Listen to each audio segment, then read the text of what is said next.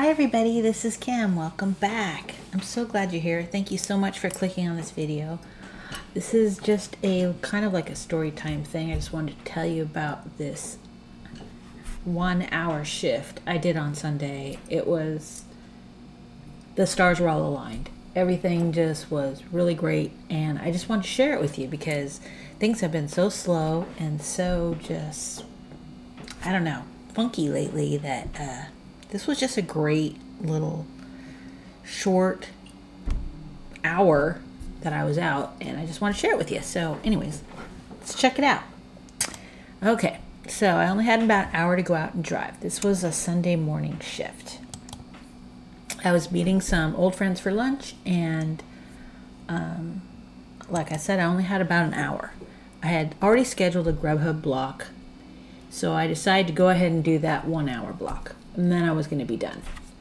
I figured, okay, I'll make 20, 30 bucks, whatever. You know, it was just, you know, why not? I was ready, had nothing else going on. Let's go out and do it. I am so glad I did. So only one hour. How much would I make? So uh, basically, my Grubhub block was scheduled from 10:30 to 11:30. So not too long, but it was all I could get.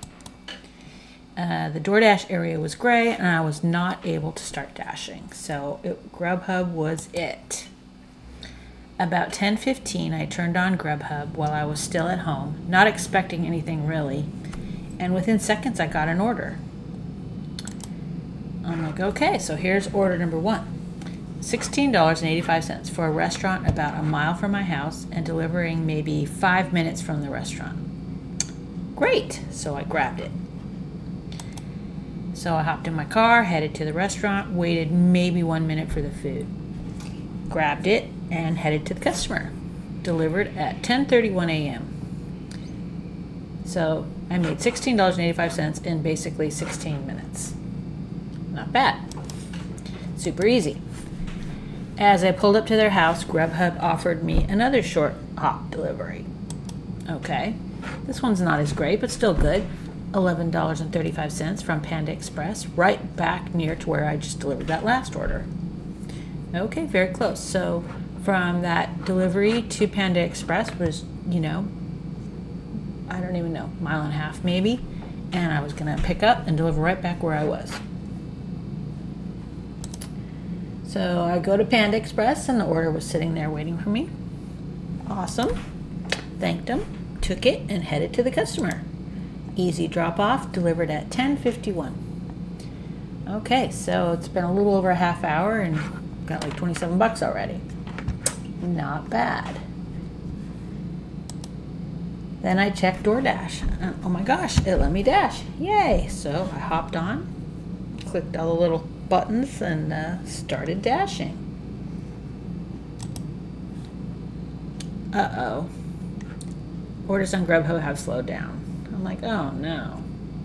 Thank goodness I got on DoorDash because after that Panda Express delivery, I never got another Grubhub offer. But it's like that on weekday mornings. Weekend mornings, sorry. Um,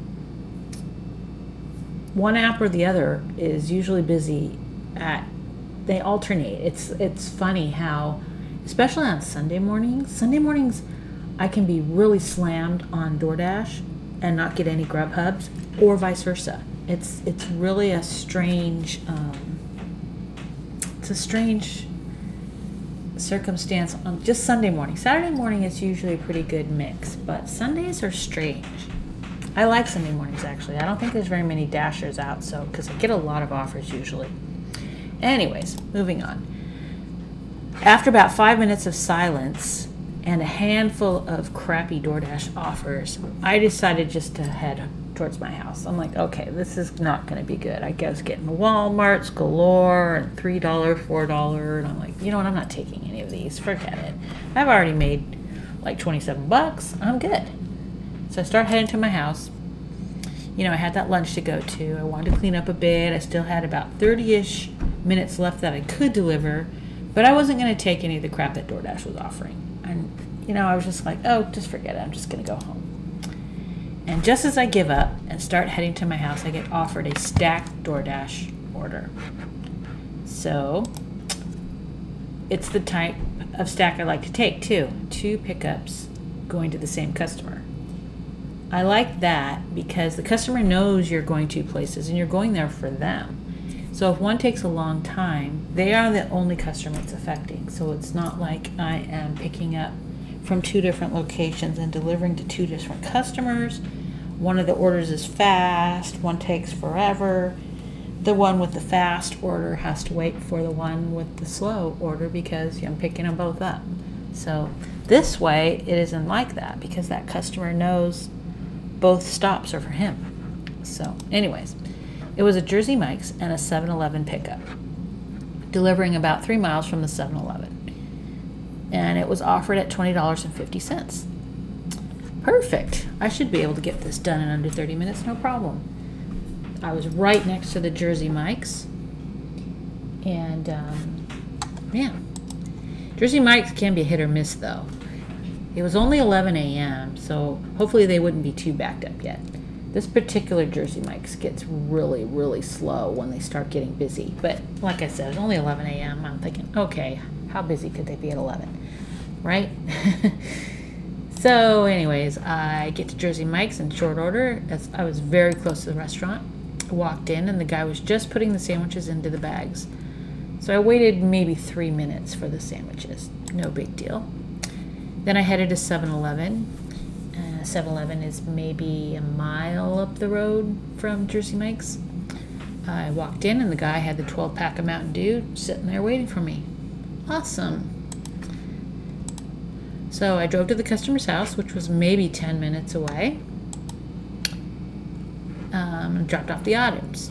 With a stack, you sometimes have it listed like two separate pickups and two separate deliveries, so even if they're going to the same customer. So I completed the Jersey Mike's delivery, took the picture and all, and it came to thirteen seventy five. Uh, Ten dollars. It was a tip.